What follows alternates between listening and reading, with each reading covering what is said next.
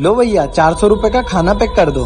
ठीक है भैया करवाता हूँ। रमेश इनका चार सौ रूपए का खाना पैक करते जो रोज ले जाते हैं। भैया वैसे मैं एक बात पूछू आपसे। हाँ पूछो ना भैया। आप चार सौ रूपए का रोज खाना क्यों लेके जाते हो? घर पे खाना नहीं मिलता क्या आपको? अरे नहीं नहीं मिलता है ना। वो तो ऐसे ही। इतना खाना तो आप अकेले नहीं खा सकते।